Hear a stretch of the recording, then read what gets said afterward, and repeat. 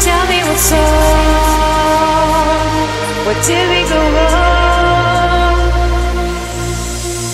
Will I ever love you again? Will we be together again?